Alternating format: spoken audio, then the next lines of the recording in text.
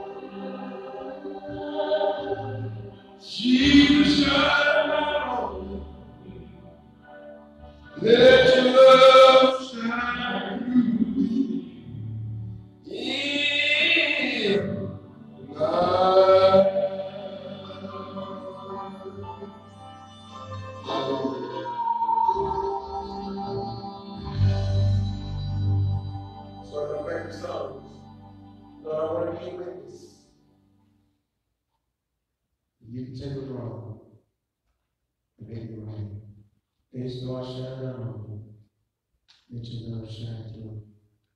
Amen. Father, thank you for the word. Thank you for the truth of your word. Thank you for the power to teach you the Jesus Christ. Make your word real for us this morning. We can relate to. Let it become relevant and right right now. In the name of Jesus. Let the word of God become one that's become relevant and change me. I can change my situation. Revolution in me that may impact my community, my city, my world. In the name of Jesus, I pray. Amen. How many excited about Jesus? Amen. How many excited about Jesus? Amen. Come on, how many excited about Jesus? All right, Texans playing later on about two o'clock today. And if you're from Houston area, be excited about it, right? Matter of fact, because you know that the Baltimore Ravens lost yesterday, if the Texans win, the playoff game is in week. I mean, how many excited about Texas, right? So how many excited about Jesus? Amen. Amen. Amen. Amen. We're so glad that you're watching us. You're watching our Facebook Live, Sugarland Church of God, and this is our Sunday morning worship. And our theme for this year is 2020. Lights, focus, vision, action. It again. 2020. Lights, focus, vision, action. Now last week, um, be something that the will quiz you from time to time. What did we preach about last week? What was the subject for last week? Lights. What was the sermon? The particular sermon, the of the sermon. Lights is the theme for the six weeks of our three months. What was the sermon? The sermon was what? God is light. God is light. Thank you, Brother Tim. God is light. I see to get ready for that. So, you know, every week we're going to give you the text that we're going to preach it for in the side of the insert the bulletin. If I were you, I'd write down the name of the sermon because I might ask the pastor may ask you next Sunday, what was the sermon for last Sunday? I'm trying to find out if the word is sticking with us. We're building, we're building a foundation for the whole year right now on talking about light. And Jonathan was right. Light is the sermon for three months. But the sermon last week is God is. Say God is light. It's born in Psalm 27, verse 1. Psalm 27, verse 1. 2 Corinthians 4 and 6 is where we're starting this morning. Psalm 27, verse 1, 2 Corinthians 4 and 6. The Lord is my life and my salvation. Whom shall I fear? The Lord is the strength of my life. Of whom shall I be afraid? Let me say it again. Psalm 27 1. The Lord is my life and my salvation. Whom shall I fear? The Lord is the strength of my life. Of whom shall I be afraid? 2 Corinthians 4, verse 6. 2 Corinthians 4, verse 6, and then we'll talk. 2 Corinthians 4, verse 6. Amen. I got your pastor this week. 2 Corinthians 4, verse 6. Amen. If you're there, we're ready. For it is God who commanded light to shine out of darkness, who has shone in our hearts to give the light of the knowledge of the glory of God in the face of Jesus Christ. For it is God who commanded light to shine out of darkness, who has shown in our hearts to give the light of the knowledge of the glory of God in the face of Jesus Christ. For a few moments this morning, I want to preach on the subject, the Lord is my light. Come on, last week we preached on God is light. But this week I want to preach or teach for the subject, the Lord is my light. Come on, say, the Lord is my light. The Lord is my light. Psalm 27 1, David says, The Lord is my light and my salvation. Whom shall I fear? The Lord is the strength of my life. Of whom shall I be afraid? David was six, 17 years old when he was anointed to be king of Israel. David was 17 years old when he was anointed to be king of Israel. He was 30 years old before he actually ascended to the throne. For 13 years, David battled within and without with the anointing of God of kingship upon his life. Here he was anointed king, and Saul, who was still the king, did not know that David was anointed the king. So when David went to go fight Goliath, David not just fighting Goliath in Israel to defend Israel, he was defending his own throne. Nobody know that. He was defending his own throne. Only Samuel and Jesse and his brothers knew that David was anointed king. And he says, Who the armies of the living God? Who wants to take the throne of God? And he fought Goliath as a hidden king. David was given Saul's daughter to kill as a wife. David was given half of the kingdom. But David also was beginning to become an, an object of Saul's envy jealousy. The Bible says, rage of fear come on Saul. David played the harp. David was a warrior and he was a worshiper. On, say warrior worshiper and witness. I'm going to preach about that one day. Say warrior, worshiper, and witness. David was a warrior, he was a worshiper, and he was a witness. He could, he could war against battles and armies, but he also would get on the harp and he could worship and he sung songs of the God. And he sung before Saul. Saul then try to throw a javelin and kill him. And finally David reigned for his life. David reigned. And the women were singing, Saul has killed his thousands, but David has killed his ten thousands. Saul said, I'm going to kill David. David hid in caves for his life. David ran down to the tabernacle to get, and he was telling the priest told me, you can't stay here. David ate some of the showbread off the table. And David was running, even one of David's acquaintances when his and told Saul what David was hiding at. David was running for his life in the caves. David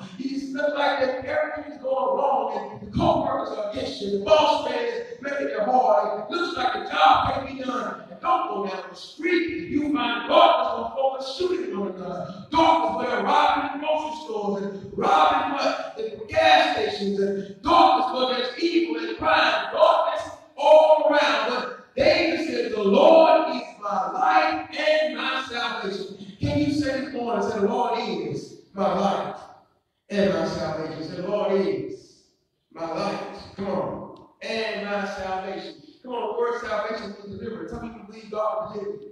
Say, God will deliver you. See, salvation is not just about being born again.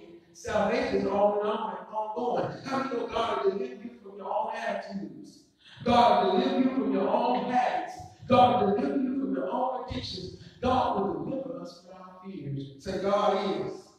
He is the Lord of my life and my salvation. Whom shall I fear?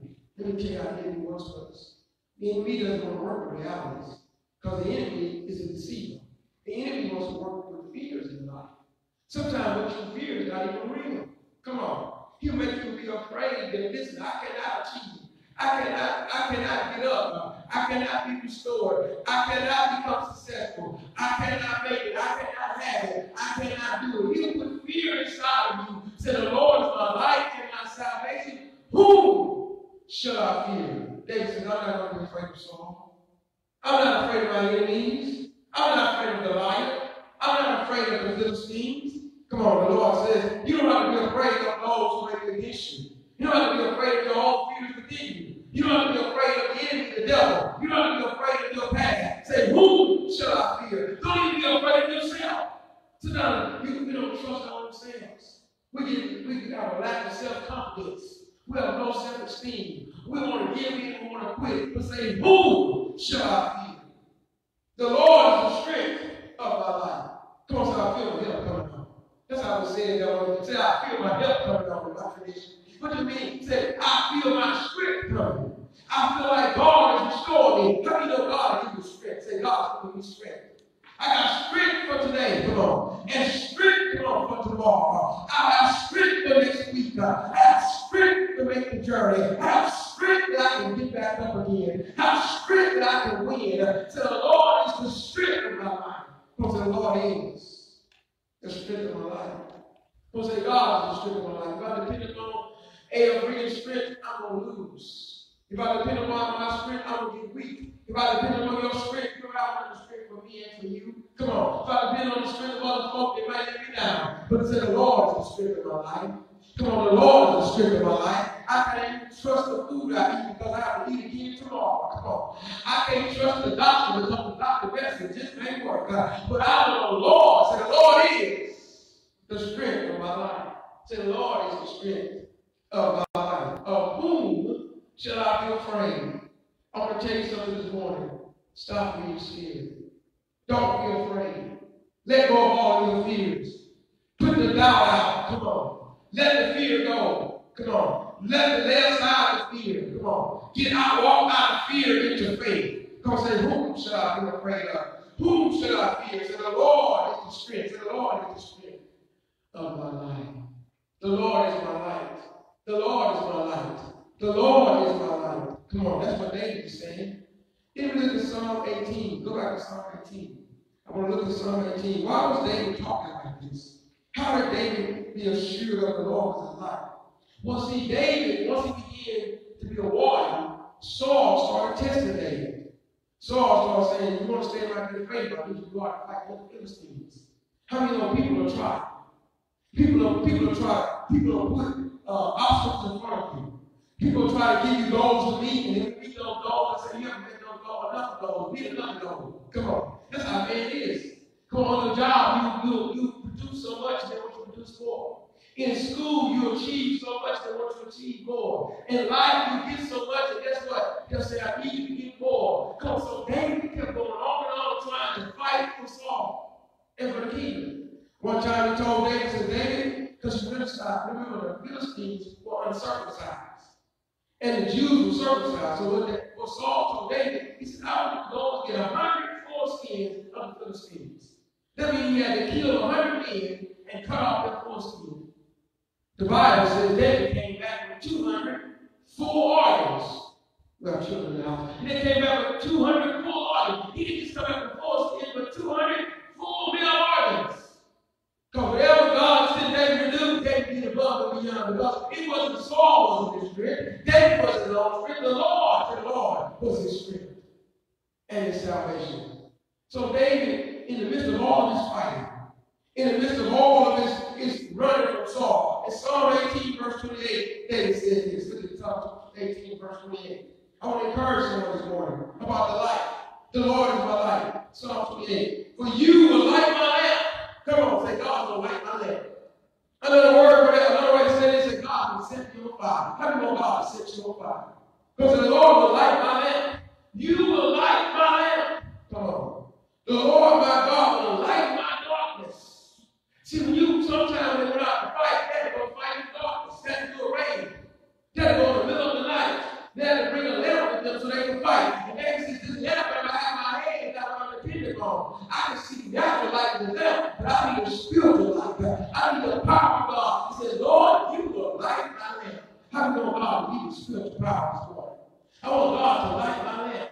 I'm feeling weak. I need God to light my lamp. I need strength for tomorrow. I need God to light my lamp. I need no strength for next week. I won't be able to light my lamp Lord, you will light my lamp. The Lord will light my darkness. For by you, watch this, I can run the truth. Come on, say God, give me superpower. See, the stuff that everything that the world tries to create, God has already done. You ever heard of superpowers? The kids talk about the Marvel and the Justice League and all that stuff. That's all knockoff of the real thing. Come on, how many know that Jesus Christ is the only one who died and rose again? Come on, and has all power. So just like that, just like this, even in our own lives, like this, say God will give you power, supernatural power. He's going to give you what? Spiritual power. And what? He said, I can run against the truth. Oh no, you're not fighting people in the flesh. You run against the truth, and you can run against every evil thought, every darkness of the enemy, every power every work of the devil. So I can run against the truth, uh, every negativity in your life. Uh, I can run against the truth. Uh, everything that try to bring me down, I can run against the truth. For by my God, I can leap over a wall. Don't say leap over a wall. How many going to leap over a wall? Because there are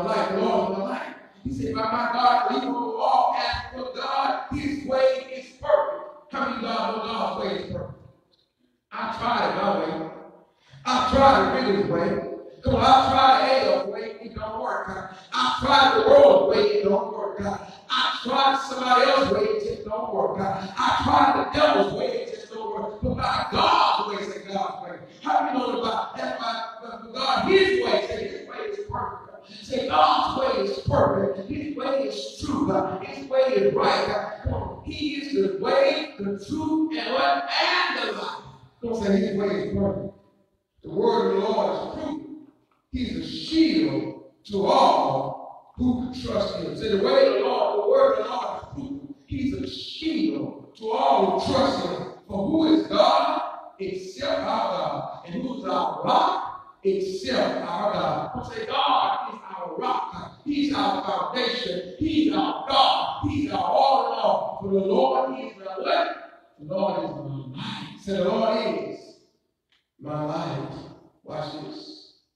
David said right here, that the word of the Lord is true. He said, The Lord light his camp. The Lord is going to light way. The word of the Lord is true. How do you find the light of God? How do you find the light of God? Going to preach on this for about three months. How do I find the light of God? I find it in one place, in the Word of God. I find the light of God in the Word of God. Psalm 119 and 30. I won't be too much longer. Psalm 119 and 30. Hope you're not doing puzzles. Hope you're not doing crossword puzzles. Hope you're not doing word search. Come on. Come on. Psalm 119 and 30. Psalm 119 and 30. For those watching my Facebook, our bulletins for the kids have crossword puzzles and word search. Preacher ain't preaching right, they can find something else to do. Psalm 119 and 30. Come on, say, the Lord is my life. Anybody understand what I'm saying this morning? The Lord is my life. Psalm 19, verse 30. Watch this. Watch this. The word of the Lord is true. The word of the Lord is true. This was something they said, right? Psalm 119, 130. Psalm 119, 130. The entrance of your words gives life. It gives understanding to the simple. Let me say it again. The entrance of your words gives life, gives understanding to the simple. If I just enter into the word, I don't have to understand it yet. I don't have to memorize it. I don't have to know what it all means. I don't have to do a good outline statement on it. If I just enter the word, the entrance, oh, the entrance of the word gives life. It gives understanding to the simple. What is my challenge to you? My challenge to all of us. What God's challenge to us? Of course, I have to enter into His Word. I got to open up His Word, not just the 66 books, but Lord, as I study the Bible, speak to my heart. Lord, I study your word. Speak to my mind. But I get my prayer closet, I want to hear you, Lord. The entrance of the word gives life. There's darkness all around on, say darkness. Fear all around us, say darkness. Hate all around us, say darkness. Doubt us, say darkness. Confusion all around us, say darkness. Evil all around us, say darkness. Well, how do I get out of darkness? I enter the light by entering to God's word. Sometimes I turn off the TV. Sometimes turn off the radio. Sometimes turn off the social media. Sometimes get off BuzzFeed. Sometimes get off Facebook. Sometimes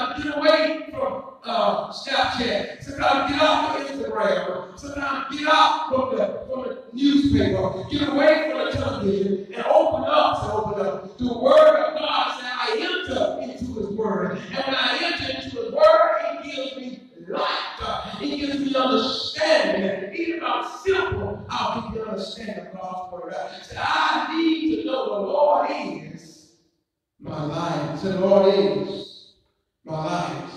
The Lord is my life. The entrance of the word gives life. The entrance, boy, I like that. If I just enter into the word, if I just open up and say, Lord, show me who you are. Show me myself. Shine your light on me. Let me illuminate, come on, your way to me. Let me see you clearly, Father. I want to see clearly now. I want to see the entrance of the word to give me light.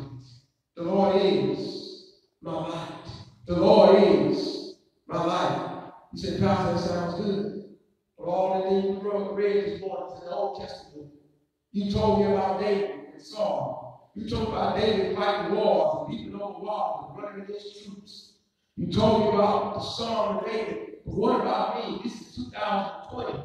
And I said, yes, 2020. Lights, focus, vision, action. You said, I need something in the new covenant. And I'm saying, I'm glad you're asking for that. And I go to 2 Corinthians, the fourth chapter. And Apostle Paul writes this in 2 Corinthians, fourth chapter to the church.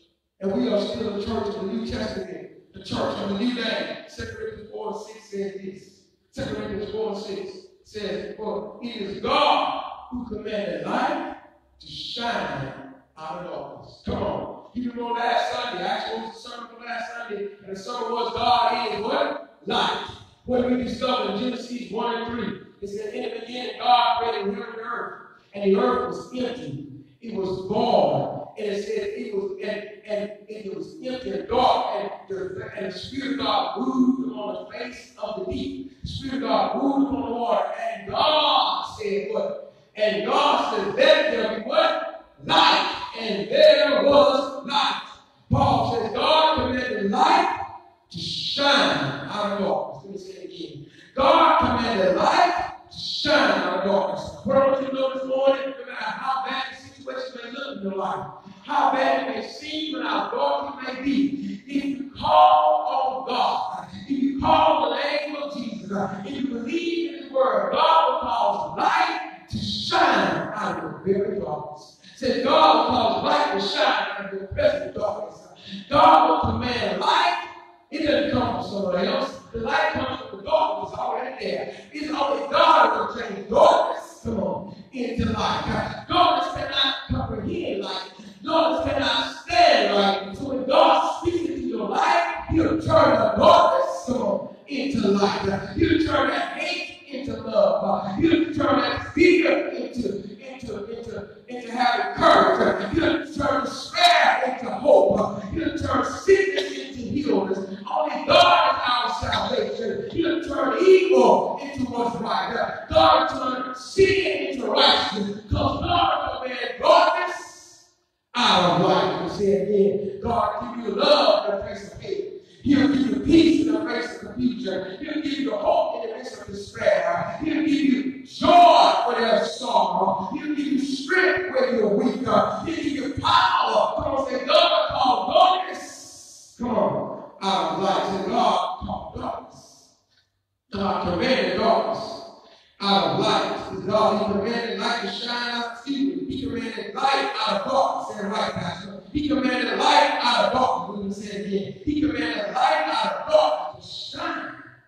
He is shone our hearts because the light of the knowledge of the glory of God in the face of Jesus Christ.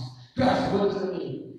In the midst of everything we're going through in this world, come on, there's some trouble going on in this world. There's trouble in the political atmosphere.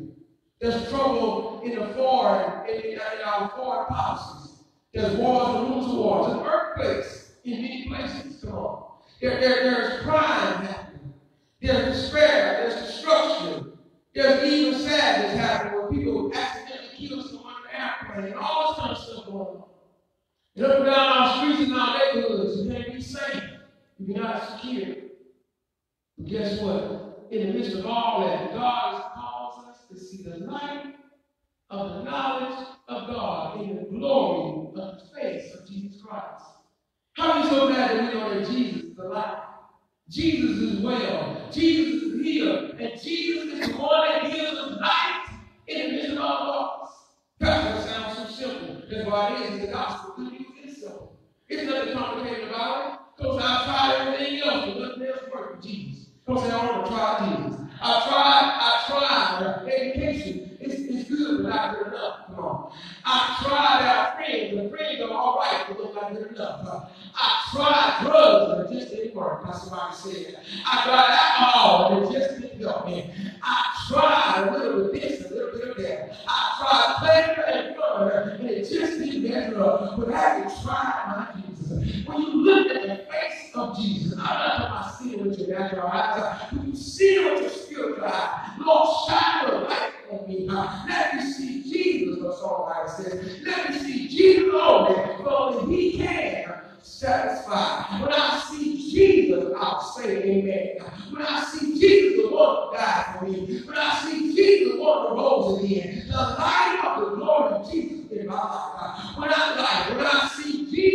On, it sees me helps me to a new world. When I see Jesus, I get up out of my sin.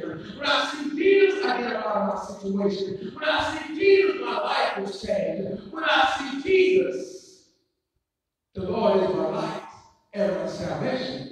Whom shall I fear? It's Jesus. Only Jesus. Only Jesus. For he has touched my life and made me whole. Only Jesus. Only and only Jesus. In the face of the glory of Jesus Christ. That's the answer for the world today. When you leave here on Sunday and you, and you live in the world Monday through Saturday, and for our own personal lives, we trust in Jesus. But folk will ask you, what is your hope? Folk will ask you, what is your testimony? What is your reason for living? How do you make it through this dark world? Say, the Lord is my life. Listen, what do you mean by the Lord is my life? Because I have Jesus. I have Jesus. He's the only one that satisfies. Have Jesus, He's the one that saves me from my sin. Have Jesus, He's my on. Have Jesus, He's my strength. Have Jesus, He's my hope. Have Jesus, He's my joy.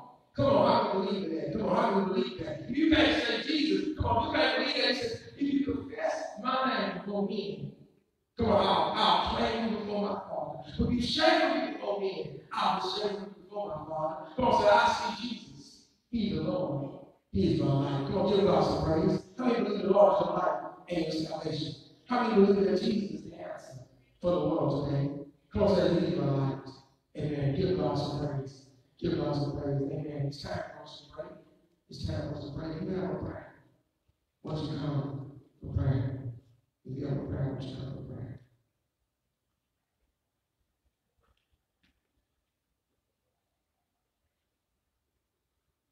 Pray.